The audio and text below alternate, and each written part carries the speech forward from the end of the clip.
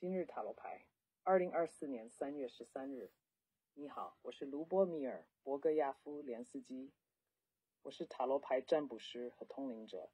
二零二四年三月十三日，星期三。为了诊断今天的卡片，我使用了莱德韦特塔罗牌，所以今天的塔罗牌是第十六大阿卡纳塔。我的建议：最近你的人生可能有一段黑暗的时期，有些东西坏了。有些东西开始工作不正常，你可能会经历崩溃和沮丧，你几乎失去了希望，你的幻想陷入了愤世嫉俗和残酷的现实。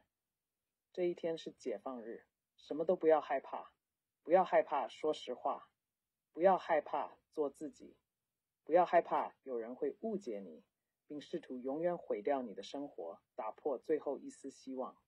痛苦让你变得坚强，要知道，从这一天起。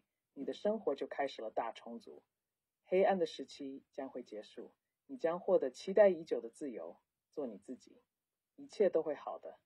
祝你今天过得愉快。最诚挚的问候，您的塔罗占卜师 Lubomir Bogoyavlensky。